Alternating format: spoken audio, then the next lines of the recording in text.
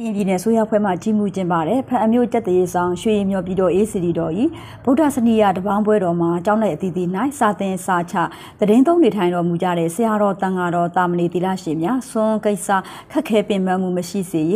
ပစ္စည်းလေးပါအစဉ်ပြေစေရေးနှင့်ထေရဝါဒဗုဒ္ဓသာသနာတော်ကိုအထောက်အပံ့ဖြစ်စေရေးရည်မှန်း၍ဆွန်ဆန်စိန်လောင်းလှပွဲကိုယမနေ့နနက်မွန်လွဲ3နာရီခန့်ကဖန်အမျိုးအမှတ်နှစ်ရက်ွက်မှာရှိတဲ့အဆိုပါစီဒီတော်ဒီနေရာ၌ကျင်းပပြုလုပ်ခဲ့ပါတယ်။ ဆွမ်းဆန်စိန်လောင်းလူပွဲမှာကရင်ပြည်နယ်ဝန်ကြီးချုပ်ဦးစောမြင့်ဦးပြည်နယ်တရားလွှတ်တော်တရားသူကြီးချုပ်ဒေါက်ခေဆွေထွန်းပြည်နယ်အစိုးရဖွဲ့ဝင်များနှင့်၎င်းတို့၏ဇနီးများပြည်နယ်ခရိုင်မျိုးနယ်အဆင့်ဌာနဆိုင်ရာများနှင့်၎င်းတို့၏မိသားစုဝင်များမြို့ပေါ်ရက်ွက်များမှဗုဒ္ဓသာသနာဝင်စေတနာရှင်ပြည်သူများက ရွှေရင်မျောပြည်တော်ရေးစီတီတော်ဩဝါဒစရိယဆရာတော်ကြီးမြတ်အမှုပြုတော်ဖအံမျိုးပေါ်မှာရှိတဲ့ဘုံတော်ကြီးကျောင်း25ကျောင်းမှာယဟန်တာမဏေ1636ပါသီလရှင်ကျောင်း14ကျောင်းမှာသီလရှင်686ပါစုစုပေါင်းယဟန်တာမဏေသီလရှင်2312ပါတို့အားစွန်စံတော်ခောက်ဆွဲကျောင်းသုံးဆောင်ပစ္စည်းများတိုင်းရင်စီအမျိုးမျိုးနှင့်လှူဝဲဝတ္ထုပစ္စည်းများကိုစက္ကန့်လှူဒန်းခဲ့ကြပါတယ်။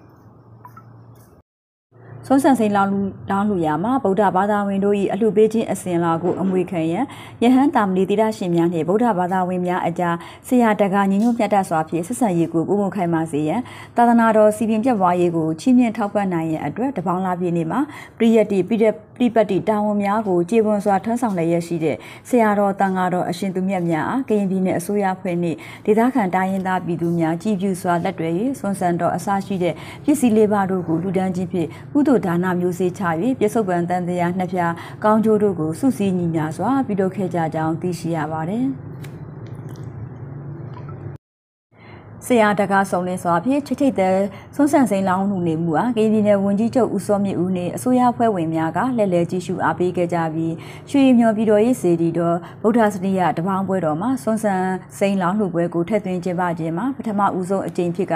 စီကံကြနာသောအစုအပေါင်းဖြင့်ကောင်းမှုကုသိုလ်ပြုကြခြင်းဖြစ်ကြောင်းသိရှိရပါတယ်။ဒီသတင်းကိုခရိုင်ပြန်ဆက်ကရိုက်ကူးပေးပို့တာဖြစ်ပါတယ်။